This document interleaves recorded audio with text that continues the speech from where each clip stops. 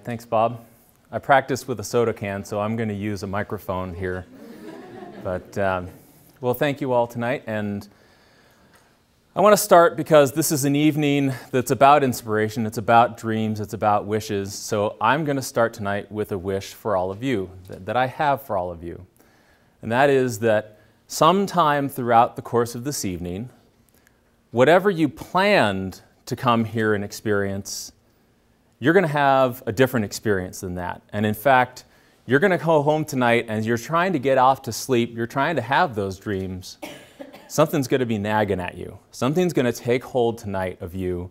Some idea, some concept, something you see, something you hear, and it's going to hold on. And tomorrow morning, when you're having your cup of coffee, you're still going to be thinking about it. And a week from now and a month from now, at some point, you're going to realize that although you came here maybe expecting something different, what you needed, what life equipped you with, was what you actually took away, and you find yourself applying it in your own life in your own way, in some meaningful way. That is what I wish all of you experienced this evening.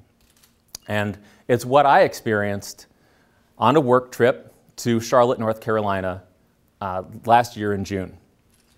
I was there to support a big volunteer initiative that we were doing on a Saturday morning, 1,200 something different volunteers for a lot of different companies and 50 something different service projects of all sorts of uh, kinds and shapes and sizes.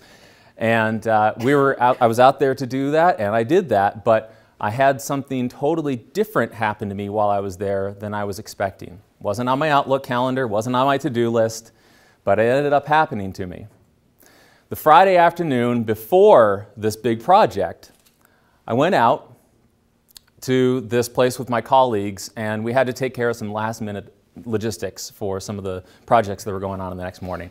So they drove me out to this place called the Charlotte Community Tool Bank. I had no idea what to expect.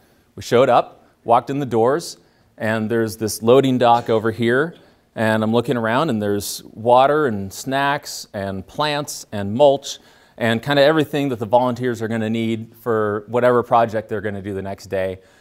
And in front of me, as far as I can see, thousands of square feet of these bright blue, brighter than my shirt, bright blue tools, saws, rakes, ladders, tables, uh, generators, you name it, gloves, uh, chair, anything that they would need for any of these service projects was there and could be loaned to any charitable organization in that community.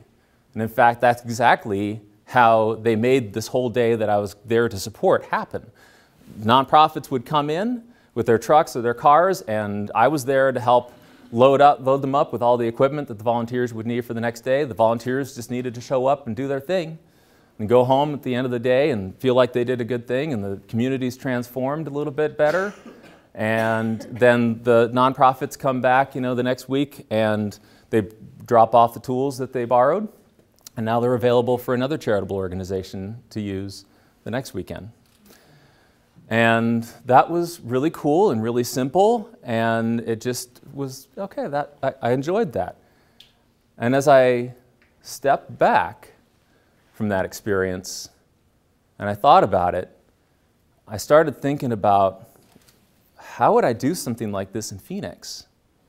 I don't have a tool bank in Phoenix. I, I don't know how I would go about this. And I flew home and tried to get to sleep that night.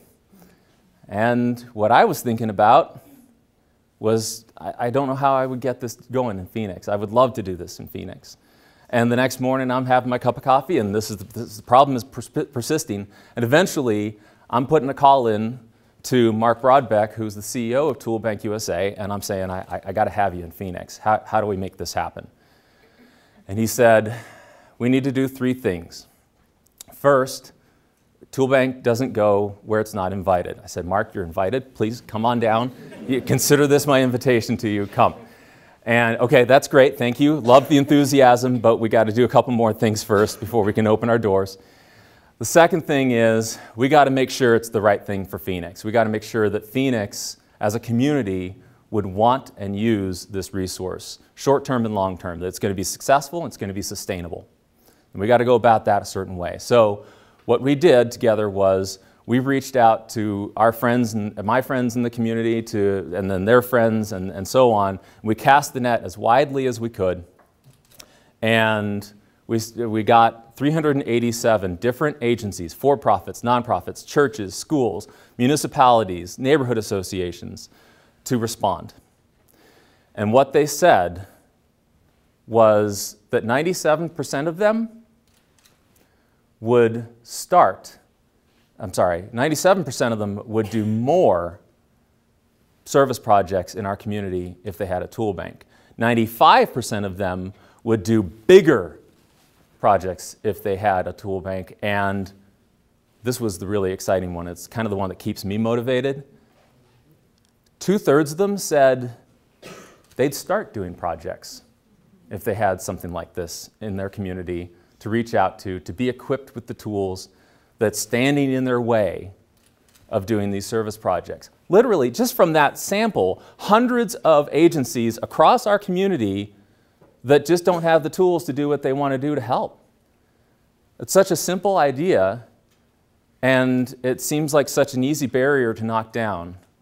So Mark and I got back together and we looked at the survey and okay, you know, we, we got the survey, the community wants this, they would use this, I think we're in good shape, let's do this. And, okay, hold on, hold on. We got one more thing that we need to do, one more thing we need to talk about. See, Mark and everybody at Toolbank USA, they know Toolbank, but we know Phoenix. The people outside these doors here know Phoenix. And it takes both in order to really make this a successful, sustainable project long term. I'm going to go back to Charlotte in June of 2012, and we're going to do a project that is 2,000 volunteers, 100 different uh, agencies that, that they're going to work with, who knows how many projects across that community. That's the goal. And the only reason that we can do that is because there's an organization like this that has in its client stable, the only, the only people that are allowed to be clients of Toolbank are other charitable organizations. So when we say, whoever it is, whoever in this community, a neighborhood organization, you know, Roosevelt Row just had this 800 volunteer project that they did, and, and I don't know all the logistics that went into making that happen, but uh, I would love to, for Toolbank to have been here to help them. And, and that just happened yesterday, and, uh, and you know, if we, if we have these uh, available, uh, then if we have something like Toolbank available, then Toolbank can just reach out to all of its hundreds of clients, hopefully at some point we're at that in Phoenix, and, and we can say, hey, these companies, these organizations here in this community, these people want to come together and do this for this community.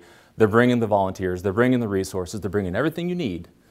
All you've got to do is tell us where the need is, and we will come. And you better believe those agencies will come. So that's what we're going to do. We are going to create a Phoenix Community Tool Bank.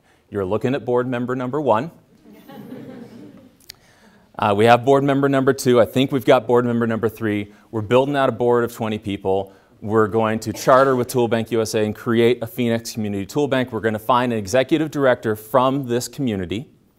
We are going to find a facility in this community we are going to work with this facility, with this community to understand what the needs are. We're going to work with all the different charitable organizations. We're going to create community gardens. We're going to help build chicken coops. We're going to help paint houses. We're going to help with art projects. We're going to set up tables and chairs so that you can sort clothes for the homeless or, or, or help food that, you know, collect food that's been donated. Uh, I mean, you name it, and we can equip it, and we can do it, and we can make it happen. And I don't know who in this room is going to help with that. And I don't know who else out in this community is going to help with that. But what I can tell you with absolute personal certainty is that this is going to happen. We are going to open our doors. And when we do, we are going to transform volunteerism in this community. Thank you.